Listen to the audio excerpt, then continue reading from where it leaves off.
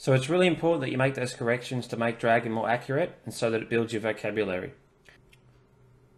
$57 million to list breakthrough drug Keytruda. know Keytruda, it's a new drug from the US. So this is a great opportunity to add it to our vocabulary. So this is how you correct Dragon and build the vocabulary in one, one hit, and it's the most important feature of using Dragon. So we say correct, and then the name of the word that's wrong, or the phrase that's wrong. It's catch rudder, catch ruder, I guess. And i have got to change it to this Keytruda um, drug. I'm probably pronouncing it wrong anyway. Correct catch ruder.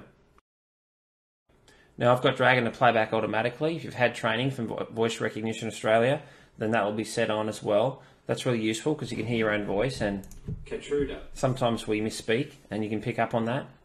So in this instance, I can just type in the name of the uh, of the the new word easily here, and that's um, a quick and easy way to correct it. And I could hit enter, and that would be the correction done. But I'll show you how to do it by voice. Now the word isn't here because it simply isn't in the vocabulary. Cap K E Y T R U D A. Choose one. Correct the dragon and I've added a new word using that correction interface. Just to prove to you that it's really important, I'll open the vocabulary editor and show you that word was just added. Open vocabulary editor. If you're not sure how to do that, though you should be if you've, uh, you've had the training because we always cover this, you simply click on vocabulary, open vocabulary editor, or you say open vocabulary editor. In this instance, I'm just going to find the word by typing it in. Now, that word with a red cross indicates that's part of my personal vocabulary. So you can see over time, by making corrections, you're actually building up your personal vocabulary, and that's already been trained because it heard me speak it before. So really, I really want to emphasize the importance of making those corrections. It will absolutely improve Dragon's accuracy, and it will improve the vocabulary that it has access to. So let's do a bit more dictating and a few more corrections.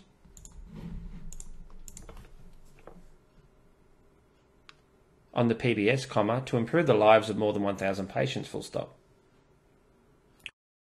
PBS the first time, then I got PDS. So it's pretty close. It's what we call a like sounding error. So that's a correction we need to make. And again, we say correct and then the word or the phrase. In this case, it's just an acronym. So I'll, I'll say it like this. Correct PDS. There we go. And again, you've got to get that in. You can type it in, you can you can spell it in. You can't say it again because if it understood it, it wouldn't have made the mistake in the first place. Cap P, cap B, cap S. So it messed up the E there and the B, but it's actually given me an option under choose four. Choose four. And then it makes a correction and returns you to the bottom of the document to continue dictating. So that's how you make the corrections with Dragon. You should do it every time. If you misspeak, you can delete a word, uh, but you, it's really important that you make those corrections.